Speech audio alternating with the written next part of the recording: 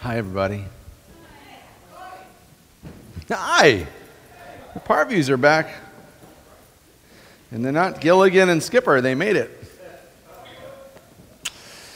So you might be one to ask why I have these notebooks in my hand.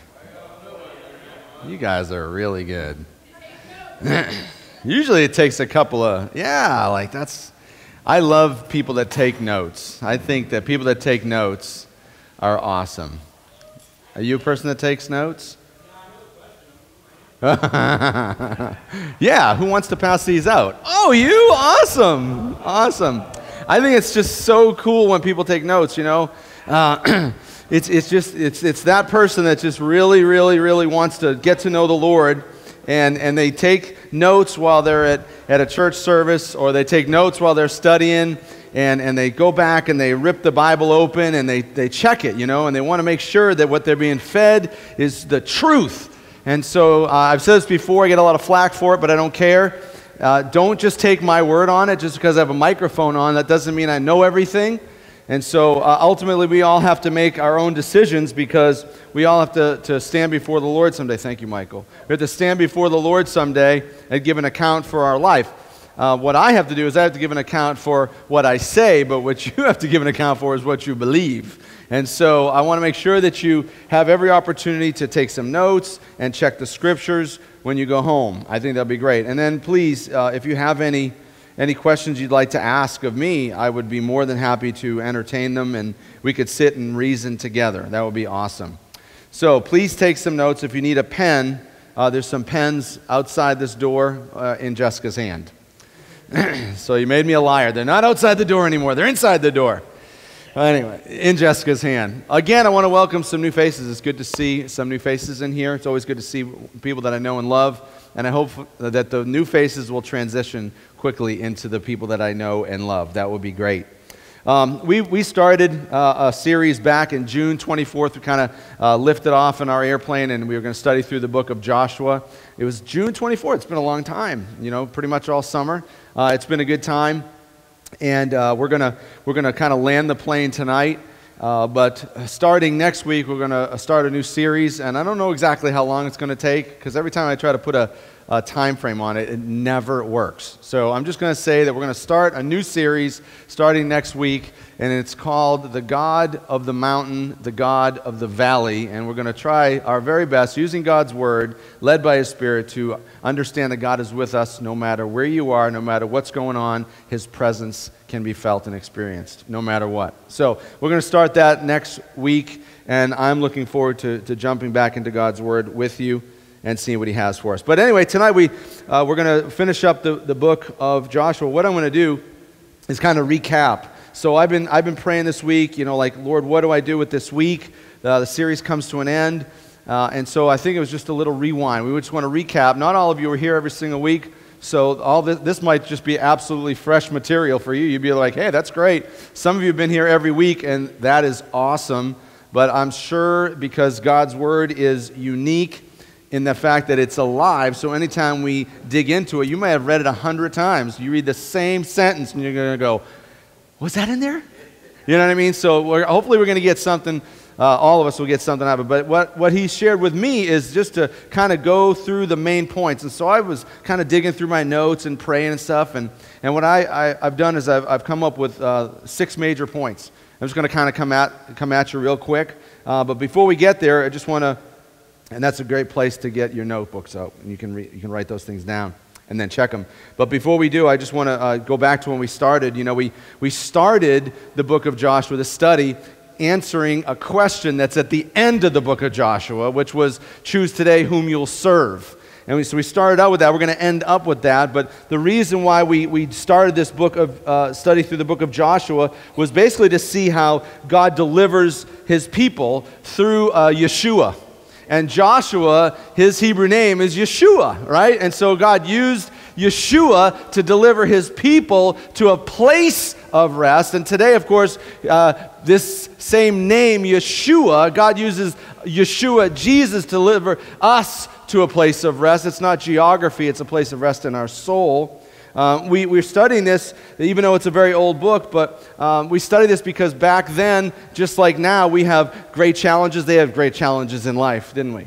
Uh, and we have great expectations laid upon us um, in our life as we're moving forward. We're going to have trouble and we're going to have calamity and we're going to have danger. And who knows what's, I mean, we don't even know what tomorrow, I mean, really, you know what I'm saying? Like, who knows what tomorrow brings, but we're gonna, it's going to be something. And, if, and, and I know you guys, there's never a dull moment.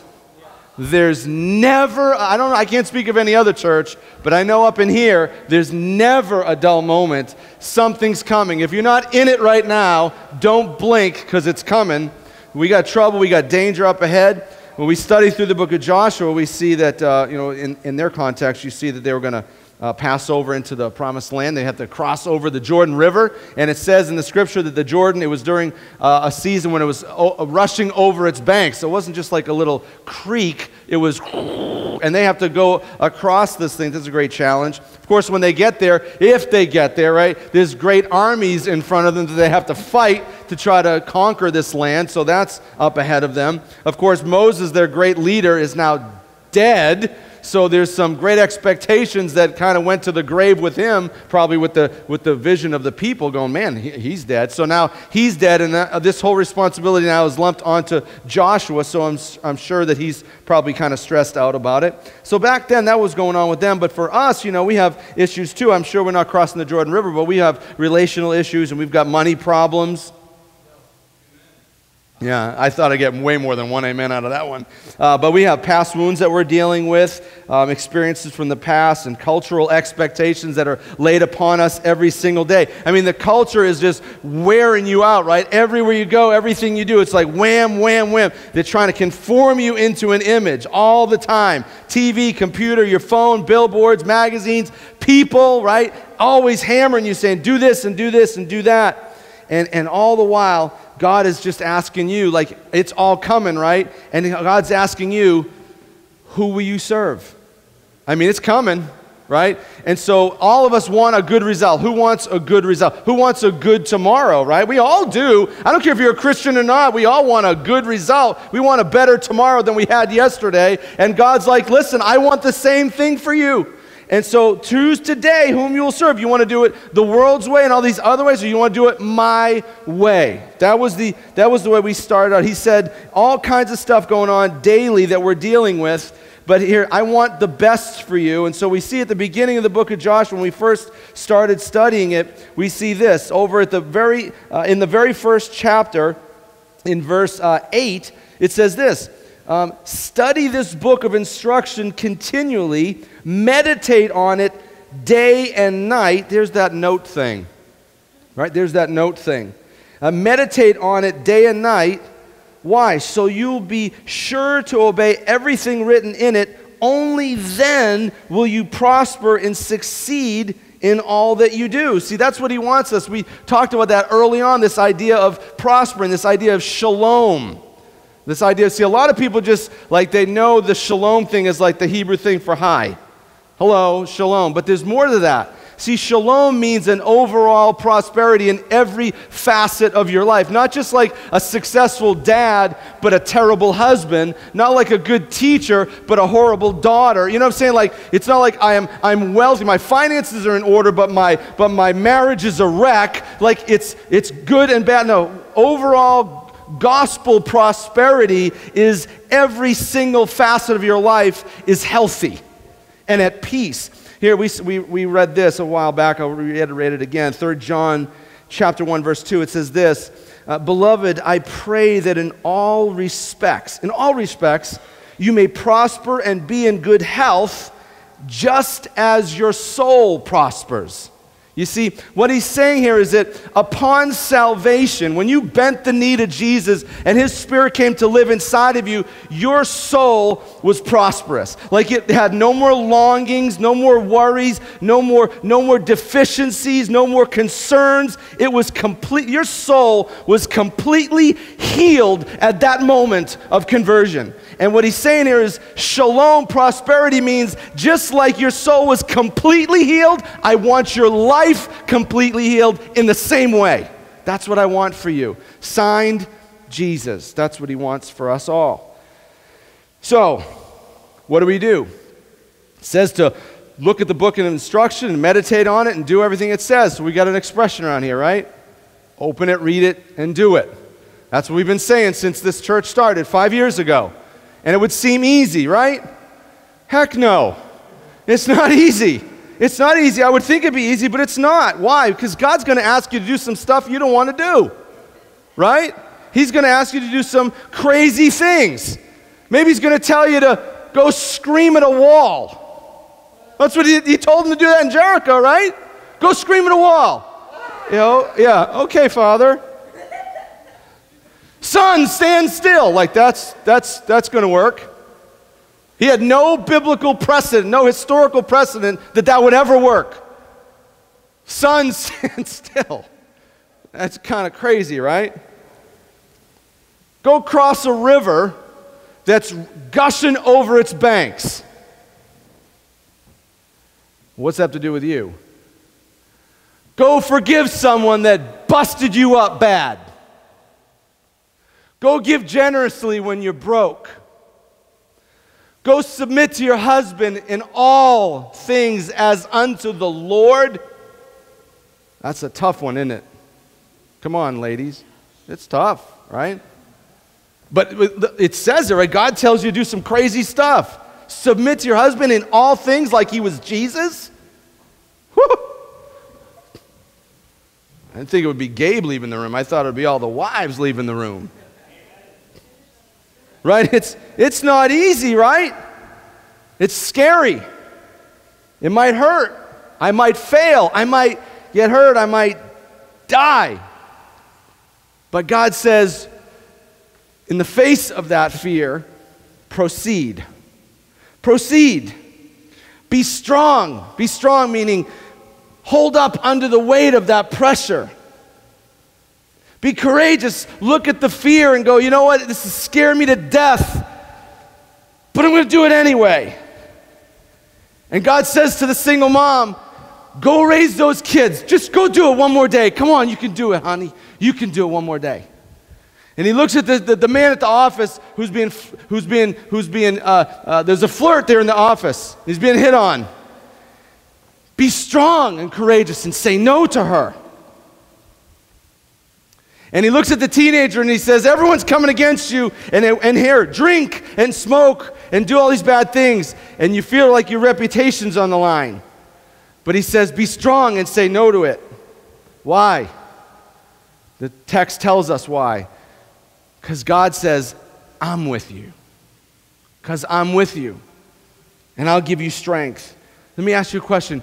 Who in this room, honestly, we're here to lift each other up, who has ever forgiven someone that they couldn't stand and they didn't want to forgive them? Keep your hand up a second. Now, show of hands. How many people who did that felt better about it now? Trust God. Trust God. How many people have ever given their last? They tithed off their last and they're here to talk about it. Trust God. Trust God. Romans 8 28 says that all things will work together for the good to those who love the Lord, right? We all want good. You all said, I want a better tomorrow than I had yesterday. But he's like, listen, if you want my promise to come true in, in your life, you know I'm with you and I have a way for you to do it. If you want my promise in your life, you got to do it my way. You got to do it my way. Even if you're scared, even if it hurts, know that I'm with you and I'll get you through it. Now, machine gun, you ready? Six things. Six things. Six things that it means. When we choose to serve Him, here's six things that it means. Choosing God means to, and this is for you to write down, write this stuff down. choosing God means to not choose yourself. Now, that could be, that could take on a lot of different meanings, right?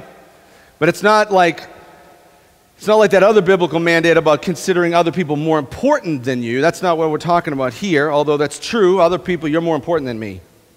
And you're more important than me. That's just the way it has to be. The Christian walk, that's the way it's got to be. Everyone else before yourself. That's it, right? But that's not what I'm talking about. What I mean is, is, is, is when, when you're faced with, with fears and challenges and adversity, like the self help aisle at the, at the bookstore is not where you need to go. Okay? There, there should be caution tape on the self help aisle at the bookstore. Okay? It's not going to work. We don't go to ourselves to, to, to go and find the solution to problems. A better Moses is not going to inspire anybody. Okay? It's not going to work. Okay? I'm broken.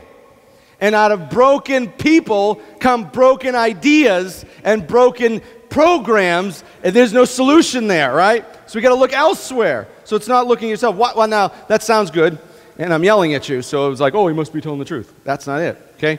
But here's the, here's the biblical truth. And we talked about this, and everyone always laughs, but it's, it's kind of not funny. But Jeremiah 17 9, that you can't go to yourself for the solution because your heart, just follow your heart. Anyone ever, you hear that on Facebook, right? Go follow your heart. Yeah. Your heart is deceitful above all things. It's more deceitful than this chair. It's more deceitful than a politician. It is. You know why? Because they have one too. It's deceitful above all things. It will lie to you. You know who's hurt you more than anyone else? Me. No, no, not me. Me hurt me the most. I didn't hurt I hope I didn't hurt you guys the most. I've hurt myself the most when I think of a great idea and I fall on my face. Why? Because I didn't do what the scriptures say in Proverbs 3, 5, and 6. To lean not on my own understanding, but seek God's will in all, say all, please. In all that you do, and He will make straight your paths. He will, he will direct your steps. He will, he'll show you the way. You all said you wanted a better tomorrow than you had yesterday, and you want to get there based on His promises and His power. He'll show you the way if you acknowledge Him and seek His will in all that you do, not your own. I'm not able. I'm not able. Broken people make broken systems and broken plans. So, really, when we were studying Joshua, the study of one of the greatest leaders of all time, it was not because he was brilliant. It's not because he was big and strong. It's not because he came up with the best plan.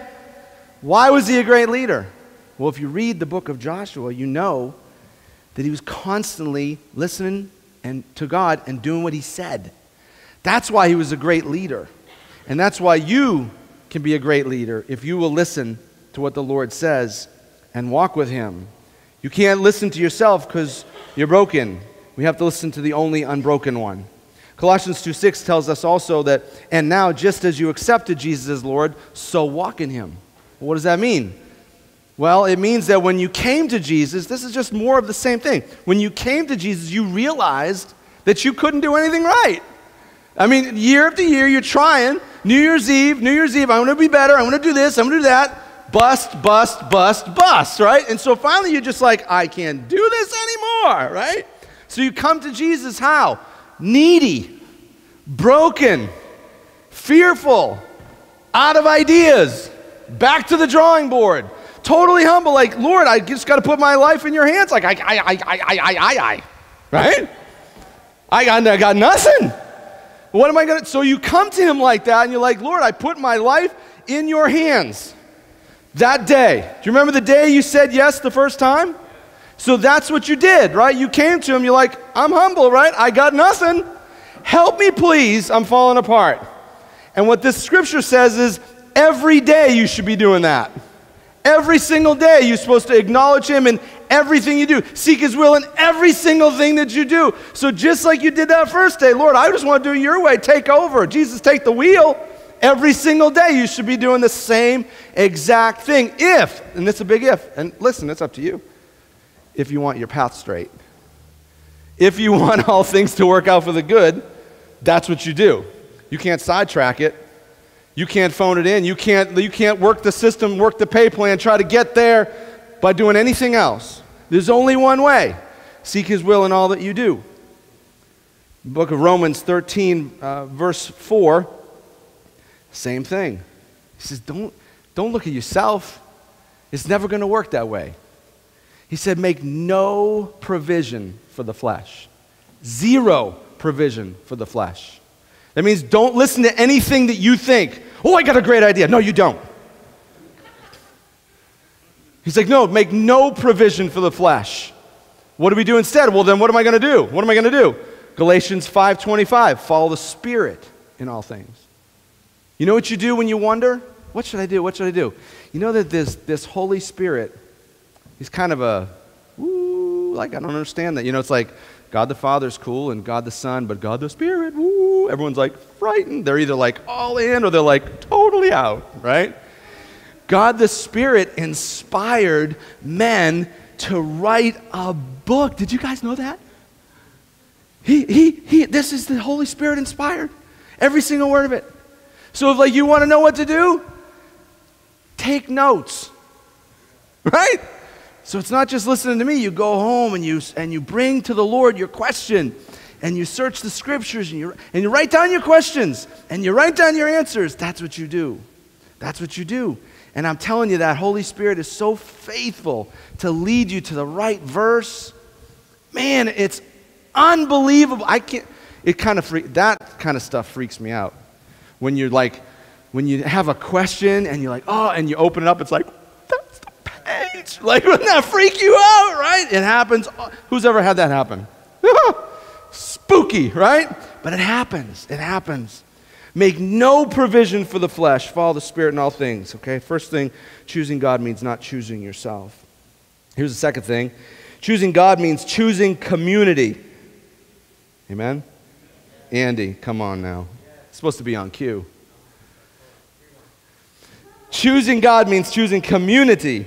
Yes, okay, all right, better. so, you know, I got news for you. Like, grandma and grandpa didn't save you. You know what I mean? Like grandma and grandpa went to church their whole, their whole life and they've been praying for you and everything that's awesome, but they never they didn't save you. And and and and you, and mama didn't save you and your nationality didn't save you and your good deeds didn't save you and just because you're Republican that doesn't mean you're saved. Did you know that? Did you know that? See, the, the, the singular belief and trust in Jesus saves you. That's it. That's it, right? That's it. But listen, although salvation is, is, is singular, it's like salvation is, is from one, just in Jesus. And it's really, in my case, it's just for me, right? I can't save Jared, although he needs it. I can't save him, right? So it's, it's salvation from one to one, but when I get saved, I'm saved by one, but to many.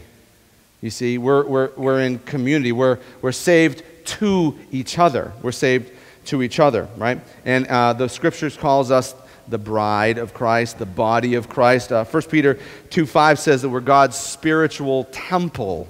That's us. Um, uh, let me give you some, some, uh, um, some references here. You can look them up, and I know that you will. Ephesians 4 says that God places us together, and here's a great word perfectly. He places us together perfectly, which means you didn't stumble upon this church. Right? You had let me tell you what you had you, let me tell you what you had to do with that. Nothing. You had nothing to do with that. God brought you here. He places us together perfectly. So it's by no mistake or coincidence that, may, that brings you here to this church. Some of you have been fighting to get away, but you keep coming back. Why is that? Now, yeah, if you tried to leave, it's because you weren't happy, but you're still here. Why? Ooh, there's that Holy Spirit again. Woo, right? Because He keeps drawing you back. Because He places us together perfectly. Now, once you realize why you're here, is the next part of the verse. He places us together perfectly. Why? So that when each part does its own special work, it helps all the others.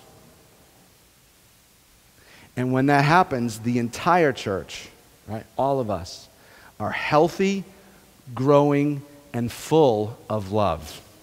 That's the kind of church I really want to be part of.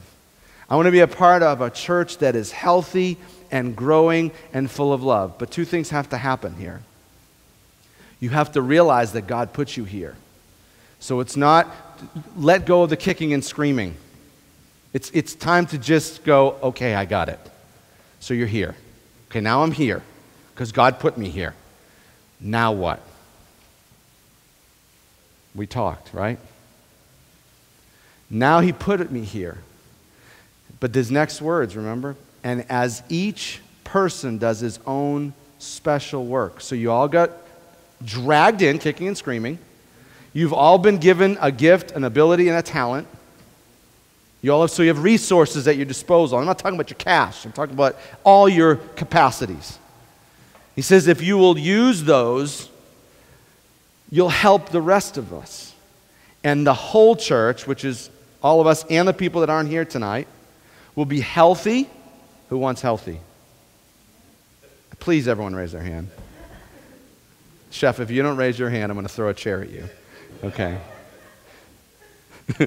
Loving, healthy, growing, and full of love. That's the kind of church. Man, I think I would, I, wouldn't that be great if every church in the world was like that? Every church. That they wouldn't talk about that one church that was like, man, why is that thing growing like that? Because they all were doing it. Woo, that, okay, let's forget it. Okay, I can't stand it. I can't stand it. I can't stand it. Okay. So here, here's, here's, again, 1 Corinthians chapter 12. You don't, have to, you don't have to look it up, you don't have to read it, but you read it later. It's, it talks, Paul talks about, inspired by the Holy Spirit, you, you, you, you, it says there's one body, right? And he uses the human body as an example. But there's several parts. Can you imagine if the whole body of Christ were hands? We could do a lot of work, except we wouldn't know what to do because there's no brain attached to it. I can fix your car, I just don't know how. I'll mow your grass, but what's this lawnmower thing? Because, I mean, can you imagine that? What if we were all ears to, to hear the problems that are going on in our culture, but yet we had no hands to go do it? Kind of stupid, right? Wouldn't work. And that's the way it is with the body of Christ. It's all one body, but there's all different people in it that can do different things. Romans 15 says to aim for harmony. So most translations don't use aim, they use pursue harmony. That means intentionally going after different people, right? That there's no cookie cutter Christians. I don't know if you look up Christian in an encyclopedia what the picture is going to look like, but it better be a lot of pictures. Because the body of Christ is, is to be harmonious, which means, I've said this before, I'll beat this drum to death, that it's, that it's coming together because when they all come together, they make a greater sound, a greater expression that any single part can do on their own. Did you hear when all of a sudden they started, the girls started harmonizing up there? I, could, I almost jumped out of my skin. They're all great singers, but when, they, when all three of them went wham, it was like, whoa, yeah. That's harmony, right? That's harmony. That's what we need in the body of Christ. But we have to, so we can come together as one voice. But listen, we have to pursue that. We have to be actively looking and seeking and embracing people of different looks and styles, ethnicities, age, whatever. We're a non denominational church. So we welcome in, if Jesus is Lord, that's it. The rest of it we can have committees about. I won't come to the committee meeting, but you guys can have them all you want. Jesus is Lord. Jesus Lord. You know, when you look in, in the book of Acts, Acts 2 and Acts chapter 4, it's like constant display of this. Everybody uh, sharing everything, meeting every day for the goodwill of every person, right? All these different types of people coming together, right? There was rich and there was poor, and there were doctors and lepers, and in, our culture, what? Police and prisoners and prostitutes and presidents and young and old, black, white, rich, poor. It doesn't make any difference. It's the body of Christ. It's the body of Christ. And since Genesis 1:26 says that we're all made, every one of us, all made in the image of God, that means that no one person has the market cornered on Christ likeness. It takes every single one of us to paint a full display of Jesus Christ. Every single one of us. So we have to welcome all types of people in. Diversity, harmony.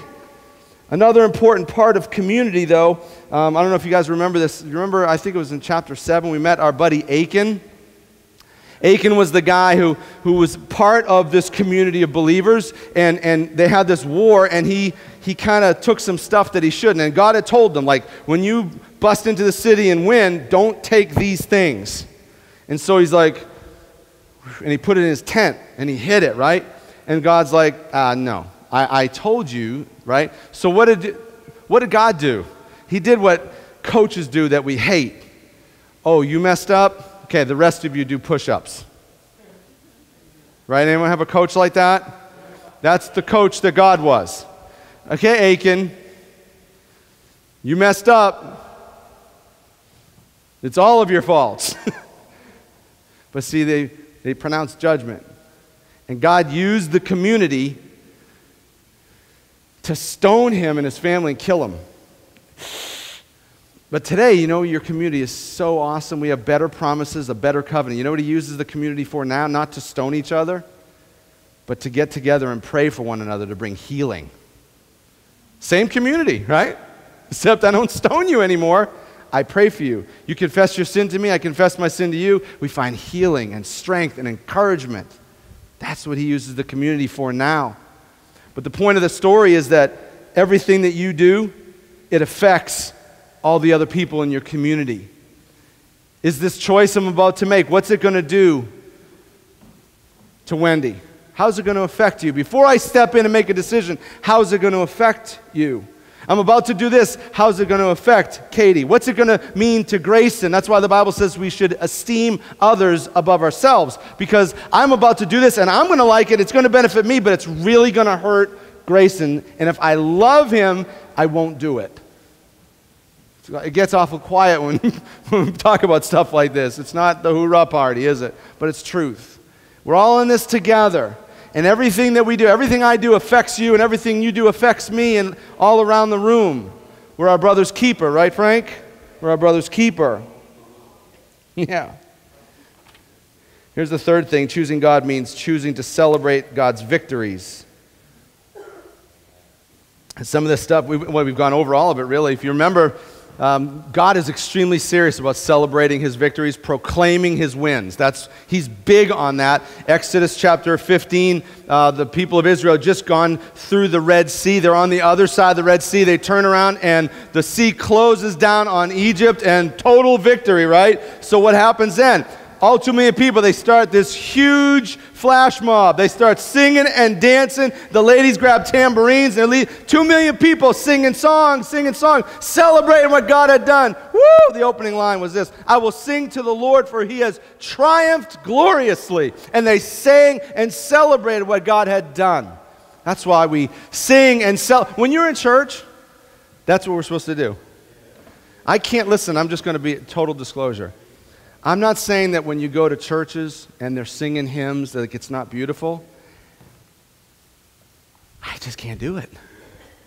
I just can't do it, right? It's not that they're bad. They're, they're great tunes. Some of them, as long as you redo them, they're great. No, I'm just kidding. But, but right? I, right? Yeah, yeah. But, but like, listen, look what it says. I will sing to the Lord for he has triumphed gloriously. Listen to this one. Psalm 20, verse 5. David said, May we shout for joy when we hear of your victory. You know what I'm saying? Like celebrating what God does. Not like, hey man, that God, that was really rocking what you did there in the Red Sea. Hallelujah, Jesus, amen. Dude, what is that? That's like, I'd rather, like, it's like, I'd rather go get my root canal, but they were busy, so praise the Lord. I mean, it's, it's, come on, right? So, so when we sing, right, it's supposed to be like a celebration. Like when you go to a funeral, you're, sell, you're singing like somber, quiet songs because the dude's dead. Like, you know what I'm saying? But our Jesus is alive, so you sing songs to an alive king, right? Yeah. Don't do it half hearted. Clap. Let's, let's see what I'm saying. Yeah, yeah, yeah, yeah. If you're going to do it, right? You know what I mean? Like, don't, well, nobody else is doing it, so I'm done. No, just go at it. You know what I'm saying? Who cares what anybody else says? You're all lame. Who cares what anybody else? Just clap, right? Hoorah! lame. Totally lame. Totally lame. He's about to get hurt, isn't he? hey, from here back, just careful for red chairs flying. Ooh. And the whole church is filled with love. Listen, when God takes a hill, you know what the hill that God takes is a person. Like geography is important. Like, like back in 1876, God spoke to someone. I don't know who it was. And that person decided to get together with some buddies, and they loved Jesus, and they said, let's build this joint. So they built this place. It was 1876. It was First Methodist of Eustis. And it's been here for 150 years. It's kind of cool, right? So, like, this is kind of like God's spot. And I, I get that. Like, this is his spot. But you know, spots kind of come and go. Did you ever notice that there's a mosque on the Temple Mount in Israel? Places kind of come and go. What God's really after are people. That's what he's really after. And, and when, when God takes a hill, it says that, that all, if this is in Luke uh, 15, it says that all of heaven rejoices when a sinner repents and comes to the Lord. When someone's saved, imagine that, like peel back the clouds and see all the, you see, we all think that's like, you know, little babies with wings and harps, and it's like powerful angelic beings are partying because someone returned to their daddy. And that's the way, that's, it's on, the, it's in the scriptures, not like, wow, that's a cool story. It's like, no, because that's what you're supposed to do. That's what you do when, when someone uh, gets saved, when, when Jesus takes a hill. Uh, and so when we go back to our text, we see that in, in Joshua's day, uh, they were very, very serious about that too. And As a matter of fact, God told them, listen, when you're coming through the Jordan River, I want you to take some big old rocks and I want you to build these huge altars, these big memorials. And so you say, well, memorials, I thought you said we weren't singing to a dead guy. We're not. It's not a memorial of a dead guy. It was put there so that anybody who went by it for years to come could, could go, hey, what's that? And people go, hey, let me tell you what Jesus did celebrating what God did. And He put it there, and rocks last a long time. Rocks last a long time. That's why He had them build it with rocks. Because it says that I want you to tell about my amazing deeds forever. Forever. Don't make it out of wood. Don't make it out of mud. Make it out of a rock. Tons of rocks, big rocks, so it lasts forever. So if someone comes by next week, you can tell them what I did. If someone comes by 150 years from now, you can tell them what I did. If someone comes by 1,000 years from now, you can tell them what I did and celebrate. That's what God wants. He's big time, it's big time pumped up about people celebrating who He is. That's what He wants. Here's the next one choosing God means trusting Him in some crazy, big things. This was the message. This was probably my favorite week going through this book, and it was the message that we titled Praying to the God Who Could. You remember that? Anyone here for that? I remember that. I love that night, man. I love that. What am I talking about? Pray to the God who could? Are you second guessing, my Lord? No, I'm not. I'm saying, sun, stand still. So they're in, they're in this war, right? And it's not like now. You know, Ryan, you're in the service, right? You can put in some coordinates in the computer, press a button, and drop that missile in someone's toilet a thousand miles away, right? They didn't have that back then. Kind of cool. You could have whooped some tail back then if you'd had one of them, right? They didn't do that, right? They, the sun would come up, they'd charge into the field, and whoever's left standing, you win, right? That was it. You like literally fought. There was no standing from far back and like shooting. It was like, okay, mano a mano, let's go, man. We're going to see who's going to win right here, right? So, so, so they've got this big battle going, right? And they can't, if it gets dark, you can't see nothing. They didn't have like spotlights. You couldn't call the sheriff's department, hey, bring in some spotlights. We're going to keep slaughtering these guys. okay. Right? So, so the sun has to come out. So what does he do? So it says that there was never a day in history like this before that God did this. He heard the prayer of a man, Joshua, stand up before his people and go, We need more light, God, so stop letting the earth spin so that the sun will stay right there. Sun, stand still. And it did. He had no biblical or historical precedence that that would ever happen, and it's never happened since. But he stood boldly before all these people, put his reputation on the line, probably thinking, this is not going to work. Right? It's never happened before. Never. Sun stand still. That's the kind of crazy thing I'm talking about. Pray to the God that, that, like, I don't know if he's gonna, but I know, I know, I know that he can. I know that he can. All things are possible. Right? How, how, about, how about Elijah in front of all the people? Okay, God, I've got all these people over here, and I built this altar, and we poured water all over it. How many people like having a campfire with wet wood?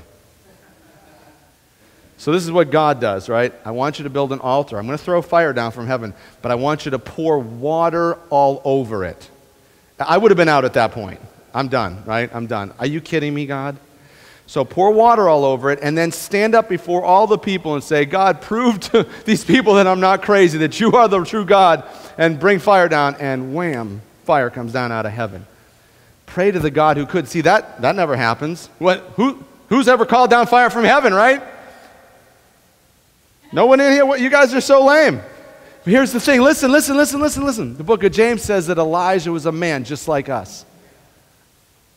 That's permission to pray to the God who could. We don't know if he will, but he could. He can. He, we know he's got the power to do such things. Pray like crazy. Pray for the son with the, with the, and I dragged Eric up here. I don't even know where he is. He's hiding somewhere. But pray for the son. And we, used, we talked about Cindy, who would pray for her son Eric, who was so in a cloud of drugs and alcohol with needles pour, stuck in his arm every single day, and she never gave up. Would, would, is it guaranteed that Eric was going to turn around? No. But he could. And so Cindy never stopped praying for her boy. And today he's delivered. Clean. Clean.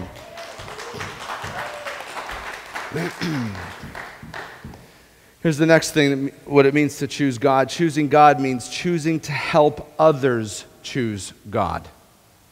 I, I, said this before, I'll say it again. I've said it twice now. The only way to experience the fullness of our salvation, the only way to experience the fullness of our salvation is to include in that experience helping others to experience the same. Does that make any sense at all? And we talked about the fact that it's in over in, in, Joshua chapter 1, and then it comes to fruition in Joshua chapter 22. And Joshua tells the people listen, um, God's given you this area of land over here on the east side of the Jordan, and, and it's yours. It's yours, it's yours, it's yours. But listen, before you go have the fullness of your salvation, I need you to go over here with all the rest of these guys and help them find their rest and peace in, where, in their land before you can go over and enjoy the fullness of yours. And that's for us too. That's for us too. We, we have to help others experience the blessing of salvation and intimacy with the Lord, or else we will never enjoy fullness of our salvation and intimacy with the Lord. We talked about uh, have you ever baptized somebody? I asked you if you've ever been ba- if you've ever baptized somebody, and some of you have raised your hand, and, and, and that's what I'm talking about. When you're baptizing them, you're like, this person's eternity is changing right now, and but all the while you're like, you're getting fired up. Like there's an experience there that you can never get unless you dunk someone. And, and, there's an experience when you're sharing the gospel with someone and you're praying for them and you want them to receive Jesus so bad. And all of a sudden they go, Yes. And you can feel your spirit going, Woo! Right? You can't get that unless you're sharing the gospel with somebody. Do you know what I'm saying? Or you're just praying with somebody and you're praying for someone diligently, earnestly, praying for them, and you want to, and, and, you're, and you're rooting for them, right? And all the while, while you're doing it, you just feel God just rooting. And, okay, Kashi, you're praying for someone, praying for someone, and all of a sudden you just feel God just loving on you. He's saying, Go, Kashi, go, Kashi. Share him with, share me with these people. Tell him about me. And you feel like he's your cheerleader. He's cheering you on. You're helping this person. All of a sudden, you just feel it from God. You will never have those experiences unless you help other people experience the same. 1 John chapter 1, verse 4. John, the he got it, and he's writing all these things about the faith to teach people. And it says here in uh, chapter 1, verse 4, that we are writing these things so that our joy would be complete. Did you hear that? Pay attention now. I'm writing these things of the faith so you'll believe them, so you'll have joy, right? But it's so that I, I'm going to share this with you. Like when I get up here and talk to you about the Lord and His Word, I'm sharing this stuff with you so that my joy can be complete. I know that God has said to Moses, Go share me with people. Go open up the book and share the word of God with people. I will never have joy unless I do it. There, there's, there's, there are weeks, let me tell you something. There are weeks when some other man will stand at this pulpit, and if you take a look, and I don't want you to because I want you to pay attention to them, I'm in the back just going like this. Like, I want to get up there and talk so bad. I can't stand it. I need to do that. If I'm not doing that with you, I, I, I, I go crazy. I go insane if I can't do that. I don't know if anyone knows what I'm talking about. But if, you, if, you, if you're not sharing Jesus with people, it will, it'll drive you nuts. You'll explode. One of these days, you're just going to explode. You got to do it. Okay, enough of that.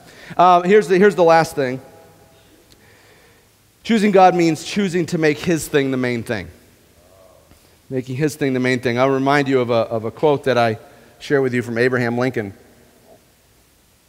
It's not in the Bible, of course, but it was a cool quote. and someone asked him during the Civil War if, if, if he thought that God was on his side. Is God on our side? And he answered back, it was just awesome. He said, uh, My concern is not whether God is on our side. My greatest concern is to be on God's side. So he understood, you know what I'm saying? He understood, the, he had the proper perspective.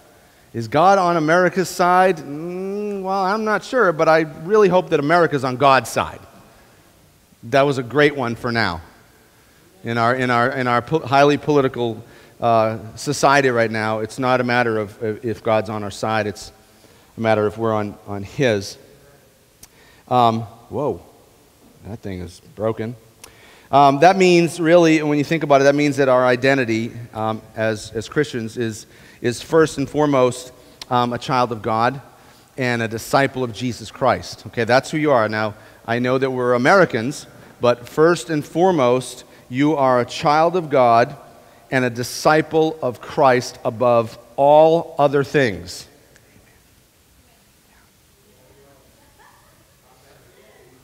Amen. Yeah, right? Crickets.